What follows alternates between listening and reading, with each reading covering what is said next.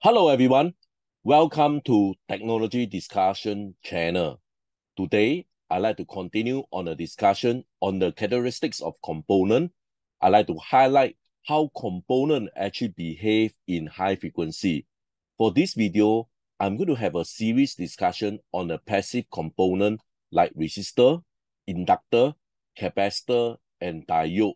And in more precise, this video, I'm going to concentrate on resistor. We are going to take a look how the resistor behave or what is the equivalent circuit of a resistor in a high frequency. This is my email. If you have any question regards on today's discussion, please drop me an email. Before I continue, I'd like to urge you guys to support this channel by pressing the like and subscribe button. Please also turn on your notification bell in order to receive more information from this channel. Let's start by discuss on the passive component. Under passive component, we have resistor. Okay, so this is how the resistor look like. I believe most of you probably have already associate or used the resistor. We also have the inductor. Basically, over here, you can see that there are mainly, in fact, more than these two types of inductor. So basically, this type look almost the same as resistor. And over here, basically, you can see that basically they coil, okay, round and round. Okay, so this is also a form of inductor. And last but not least, capacitor. Again, there are a few series of capacitor which I will further describe on the next few video. So under the passive component, we mainly has these three types, resistor, inductor, and capacitor. Passive component like resistor, inductor, and capacitor, they have many applications in electronic circuit. Much of the mystery actually surround them is the high frequency. So in reality, in DC, basically they work quite predictable. But under high frequency, you realize that from this video, okay, the resistor may also have different undesired effect. So we are going to see how can we avoid this undesired effect, especially when we use this passive component in a high frequency.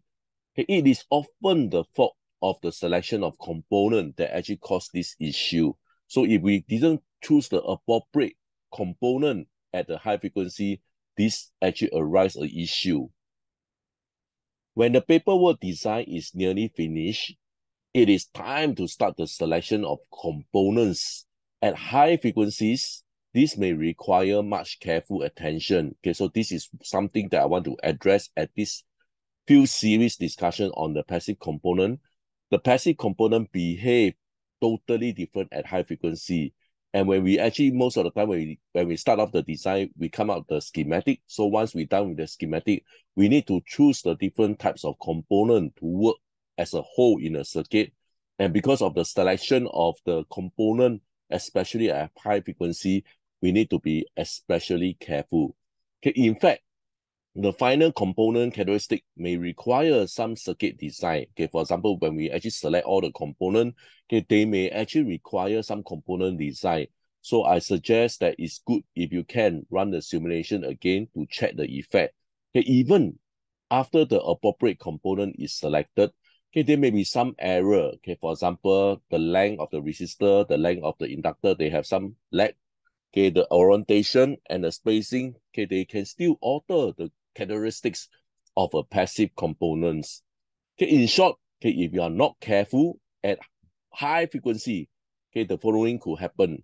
Okay, the capacitor become an inductive. The inductor become a capacitive effect. The amplifier also oscillate and the oscillator basically they does not oscillate. Okay, so this can be some of the undesired effect. So over here, we are going to study how can we avoid this kind of situation. Let's start off by discuss on resistance. Okay, resistor are formed by connecting lead across a resistive element. Okay, the resistor is measured in ohms and basically is governed by this equation here. Okay, so this is the resistor value in ohms. Basically, this is the resistivity of the element in ohms centimeter. Okay, we have the length. This L stands for the length. And this is the area, okay, take a look on this diagram here. For example, let's say this is a resistor. Okay, so you can see from here, this is the L. Okay, and this is the cross-section area. And what we need to know is basically how much is the resistivity in ohms per cm on this element when the current actually pass through here. Okay, what is the resistivity in terms of ohms centimeter?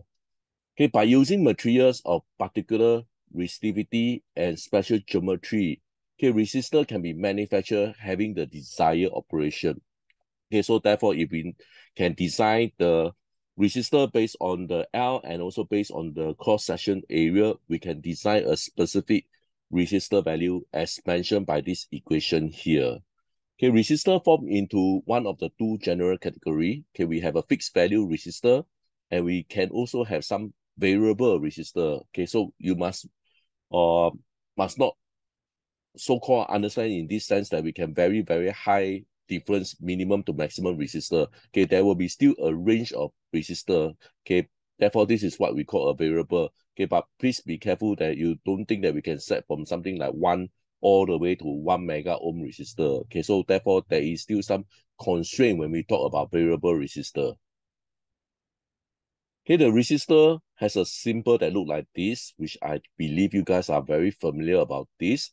For ideal resistor, basically, this is a equivalent circuit of an ideal resistor, purely just the R factor here.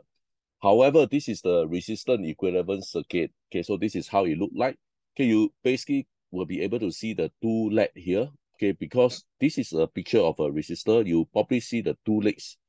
Okay, so because of this two leg is a, like a wire, basically a wire is like an inductor. So you basically can see over here, there are two inductor that appear into the equivalent circuit.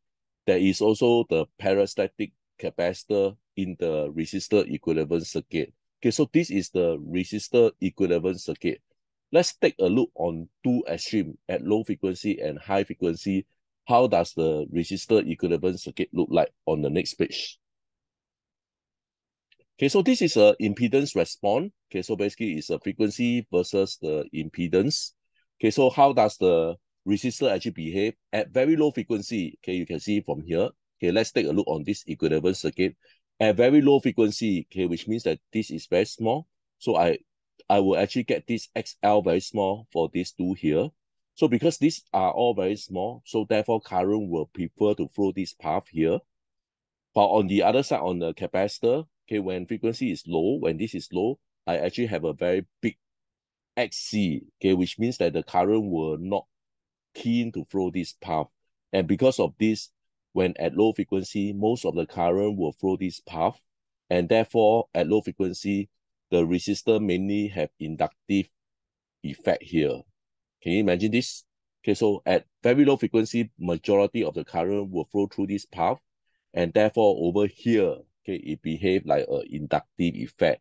And if we have a very high resistor as compared to the reactance of the inductor, we can we can actually eliminate away the inductor and purely as a resistor. However, at high frequency, okay, if you take a close look over here at a self-resonant frequency, okay, this totally changed. This resistor become a capacitive effect. Okay, so why? Let's take a look here. Okay, when the F keep on increase, okay, so therefore the resistance over here is increasing, so the current will be less reluctant to flow this path anymore. So at high frequency, when this become high, okay, you can see that the XC becomes small, and therefore the current will actually prefer to flow this path. And because of this, at high frequency, the resistor become uh, dominated by a capacitive effect here. So therefore, at high frequency, okay, for large R, okay, we can totally omit away this XL.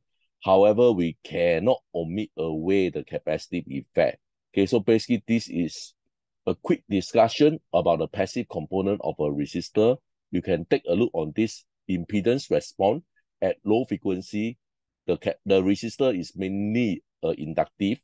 As for high frequency, is mainly dominated by a capacitive. With this, I'd like to end my discussion. Please help to like and subscribe. Once again, thank you so much for your strong support. See you guys.